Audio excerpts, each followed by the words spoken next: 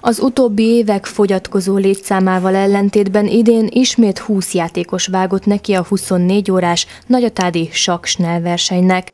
A szombat délután két órakor kezdődő Bagolykupán idén több általános iskolás korú diák is elindult, akik jól bírták az egy napon át tartó megmérettetést. Négy vagy öt ilyen általános iskolás korosztályú gyerek is volt köztük, akiknél a szülők félnek elsődlegesen, szóval én ezt már látom, már korábbi években voltak már számtalan ilyen korosztályú gyerek, hogy ők meglepően jó bírják.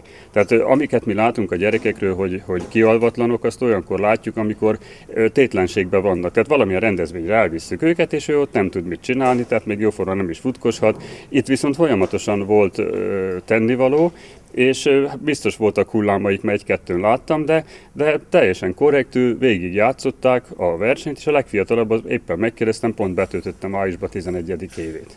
A versenyzők hét teljes kört játszottak, így minden induló 133 partit váltott ellenfelével. A Bagoly kupán a tavalyi évben vezettek be egy új szabályt, melyet idén is igénybe lehetett venni, miszerint a versenyt egymást váltva több játékos is teljesítheti. Idén ugye Máté Gáspár már kimondottan ezzel a céllal is jött, hogy ő egy játszik egy, egy jó kört, és akkor, akkor elmegy.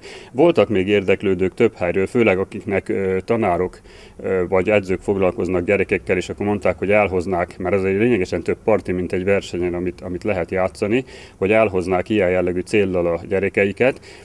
Végül is most az utolsó pillanatban mondták le, hogy sajnos ilyen vagy olyan okok miatt nem tudtak eljönni, de úgy tűnik, hogy én ezt benne hagyom. Nem befolyásolja a versenynek semmilyen eredményét, ugye aki, aki nem csinálja végig, hát az több okból nem nyerheti meg, hát egyrészt nem lesz annyi pontja, másrészt pedig ugye a teljes kör az nem fogja zavarni a többieknek az eredményét, azt hiszem, hogy ez egy jó dolog volt, most még csak néhány ember használta ki. A bajnoki címért Kis Lajos és König Balázs külön harcot vívott egymással. Ketten maradtak végül is, akik a küzdelmet vívták. Tamásiból jött egy fiatalember, ő nagyon jó játékos, a Kislajos, ő is nyerte meg végül is a versenyt, és a riválisa pedig a König Balázs, akiről szintén lehetne mesélni. Ő viszont az, aki már most 13-szor volt itt, és ő volt a egyetlen olyan játékosunk pillanatnyilag, aki már ezer játszmapontot szerzett ez alatt, hogy ez is jár díj, de hát most egyelőre a következő még évekre van ettől a teljesítménytől, tehát ő még ilyen szempontból kiemelkedik a mezőnyből.